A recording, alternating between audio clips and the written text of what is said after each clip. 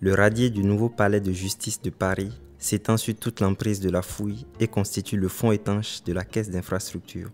Il est dimensionné pour reprendre jusqu'à 9 mètres de sous-pression d'eau.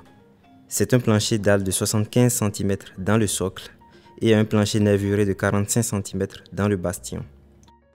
En ce qui concerne les charges descendantes, les 135 000 tonnes apportées par les noyaux créent une cuvette de tassement de 35 mm. Les études ont montré que sous la tour, 75% des charges verticales descendantes passent dans les barrettes et les 25% restants dans le radier. L'entreprise a choisi de réduire les efforts de flexion dans le radier, engendrés par cet effet de fondation mixte, en désolidarisant le radier du sol grâce à un coffrage biodégradable appelé biocoffra. Après terrassement, un film plastique est étendu sur le sol pour éviter que le biocoffra ne se dégrade prématurément au contact de ce dernier. Le biocoffra est ensuite posé sur le film plastique sous forme de panneau indépendant.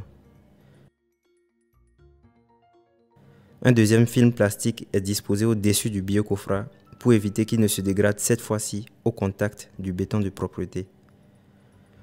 Enfin, un béton de propreté de 10 cm est coulé par-dessus le biocoffra. Cet ensemble constituera le socle du radier. Après l'arrêt des pompages, la nappe remonte et dégrade le biocoffra qui laissera place à un vide.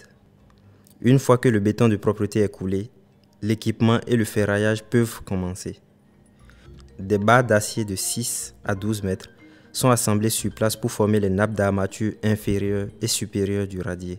Les attentes des futurs poteaux sont également mises en place. Il est ensuite nécessaire d'ancrer les armatures du radier dans la paroi moulée.